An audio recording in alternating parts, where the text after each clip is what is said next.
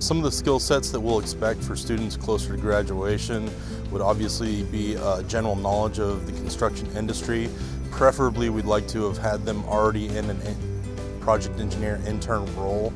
That way they're comfortable when they come in and transition into being an actual project engineer on a real construction project.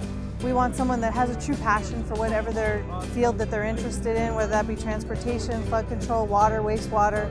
Um, we like them to have had some internship experience previously because that you know, shows that they know which direction that they're, they're wanting to go. By the time you're getting closer to graduation, we'd hope you have, uh, honestly, a lot of good teamwork already, um, you know, from your experience at school. Um, we know um, because what we, you know, when you get into the real world, when you come into the, you are working on a team. It's, you're never solo, you're never by yourself.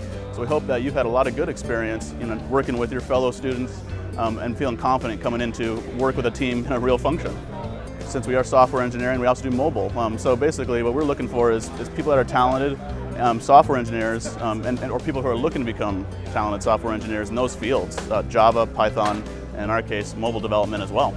Closer to graduation, they should have a general understanding of IT technology and how those platforms function. But we're really looking for people who are passionate about the industry, passionate about the organization and joining and coachable and willing to learn. Those are the most important things. You have the books knowledge, but you don't necessarily have the practical skill sets and what, that's what the, we're there to provide for them.